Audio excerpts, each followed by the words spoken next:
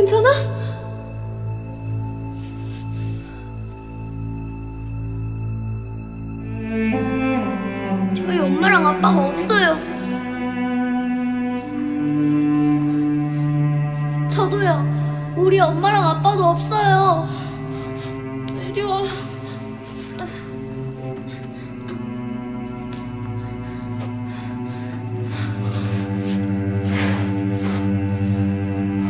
이게 무슨 일이야?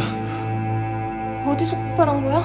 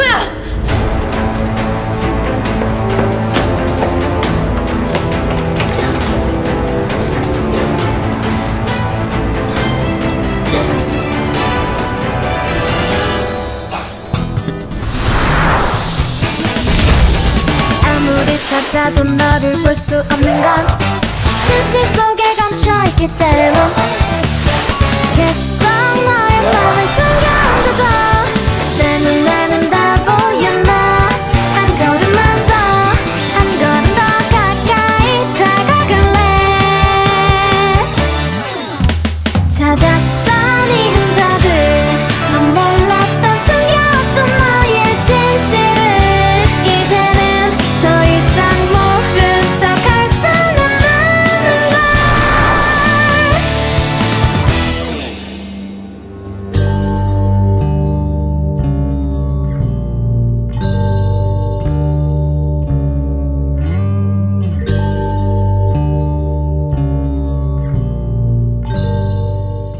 우리들의 부모님이 사라진 그림자놀이 실종 사건.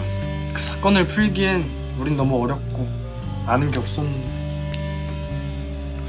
장윤지 이 여자가 힌트다. 반드시 잡는다. 아 참스!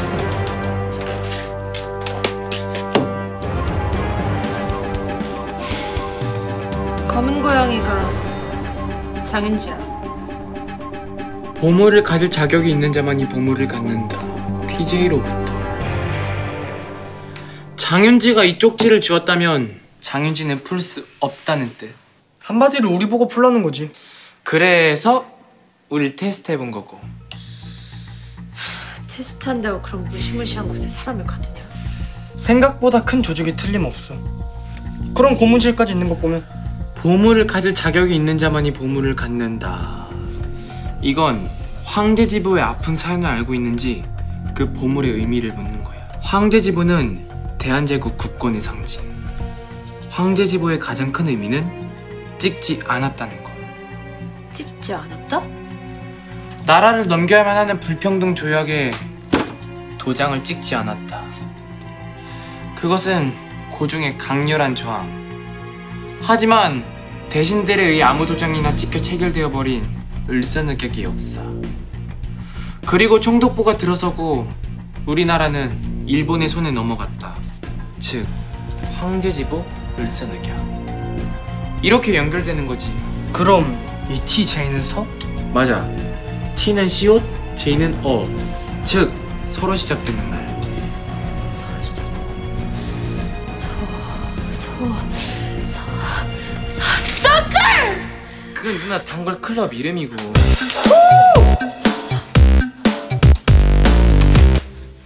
서대문 영수. 을사늑약 이꼴 총독부 이꼴 독립탄압 이꼴 서대문 영무소. 오케이? 어떻게 형사가 됐냐? 미스테리다 진짜. 잘 들었다. 거기 서라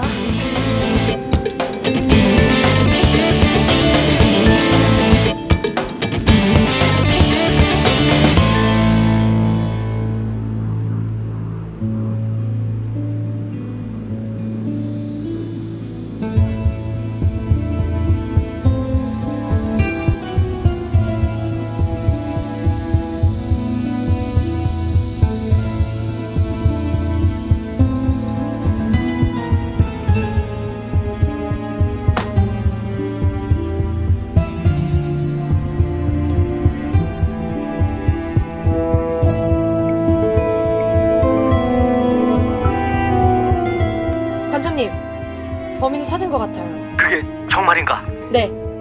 지금 빨리 서대문 연구소로 와주세요. 알았네.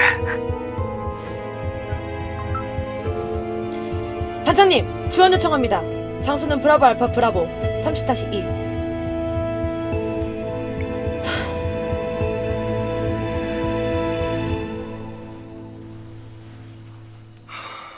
이 넓은 데서 어떻게 찾지? 올가닉은 프랭키를 가리킨 나무였고 프랭키가 찾아내야 하는 거라면 생명의 나무야. 생명의 나무? 죽음이 다시 삶이 되는 건 나무다? That's right. 대추나무?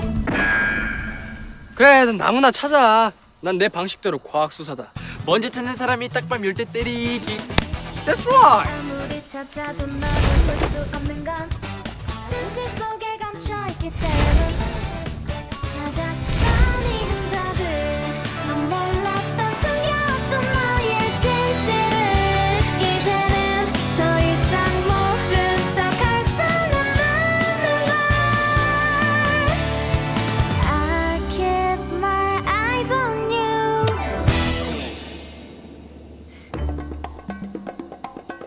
내, 내가 찾은 거야.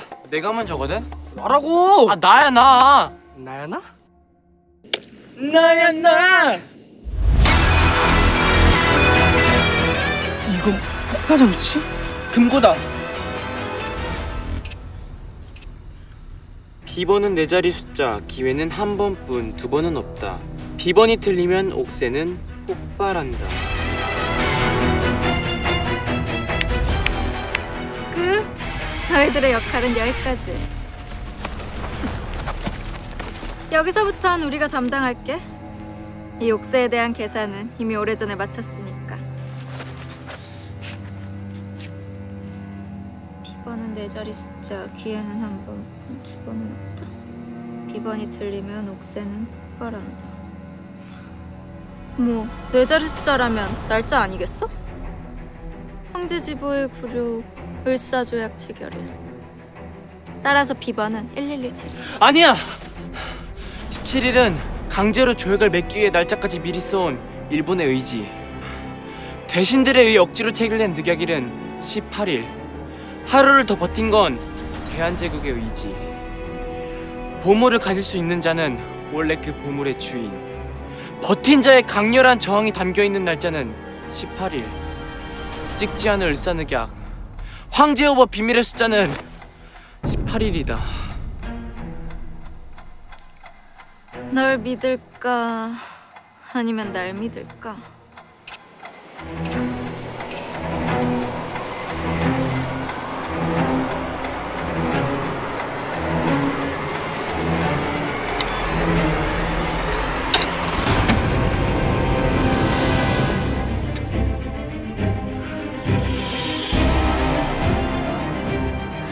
널 믿었더니 복세주의는 내가 됐네? 뭐 인생 그만큼 아이러니한 거지.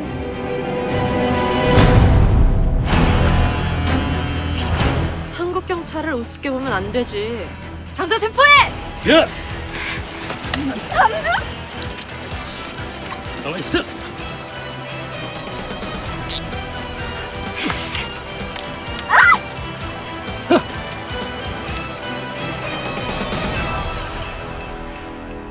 황제 지보가 맞다. 고만배, 자네들 덕분에 찾았어. 아, 왜, 왜들 그래? 어? 얼싸 안고 춤을 춰도 모자를 파네. 보물을 훔친 건 바로 한유건 관장님 당신입니다.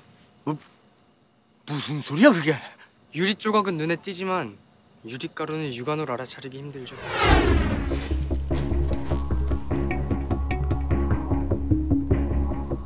아무리 범인이라도 자기 구두 앞코에 묻은 미세한 유리가루의 흔적까지는 미처 몰랐을 겁니다.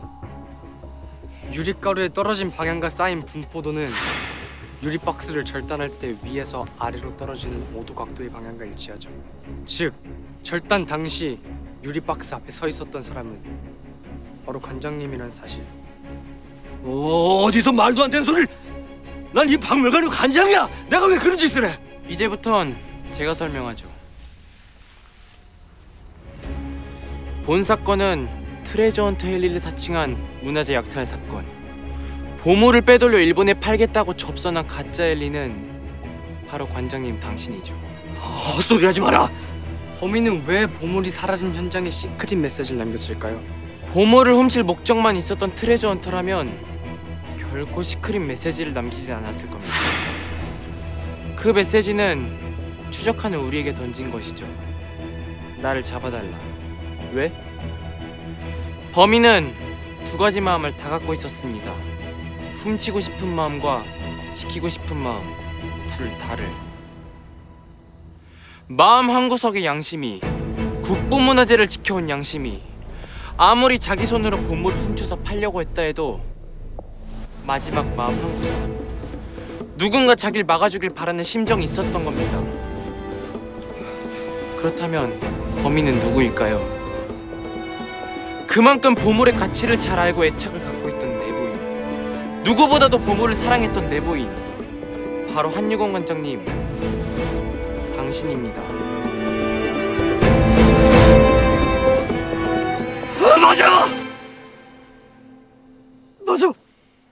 내가 내가 황제 집을 훔쳤어. 왜 그런 짓을 한 거죠? 이게 다 새파랗게 어린 신임 이사장 그놈 때문이야. 이 박물관을 위해 내 평생을 바쳤는데 이 전시회도 내가 기획을 했는데 다음 달 일자로 세관장위원이 나가라니 어떻게 나한테 이럴 수가 있어? 이, 이 이사장 이놈이 나를 이런 식으로 도사급행하다니! 개인의 복수로 국가의 문화재를 이용하는 것은 용서할 수 없는 일입니다. 정신을 차리고 보니 이미 일을 저지른 후였어. 나는 후회했다. 방법을 찾아야 했어. 그래서 시크릿 메시지를 남겼던 거야. 대단하고 막동 탐정수. 자네들 덕분에 이 문화재를 지켜줄 수 있었다.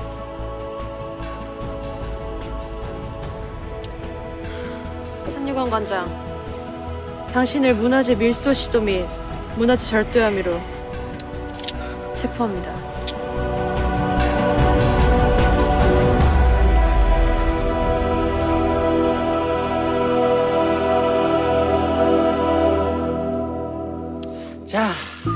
딱밤 맞을 시간이다. 좋아 딱 대라. 아, 내가 먼저 찾았어.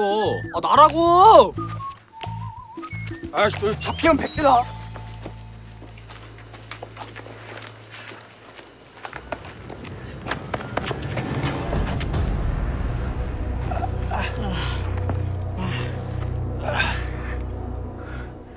장윤지 도망갔어?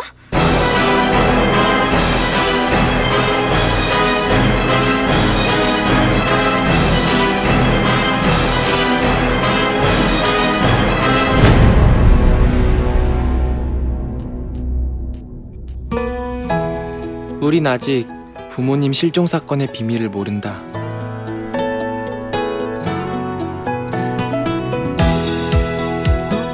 사건의 비밀을 풀 수 있을 때까지 우리는 더 많은 사건을 해결해야 할 것이다. 더 많이 배우고 더 많이 익히면서. 이게 최고야. 베스 트. 아탐스 사건이다. 세상은 알 수 없는 사건들로 가득하지만 우리들의 사건은 이제부터 시작이다.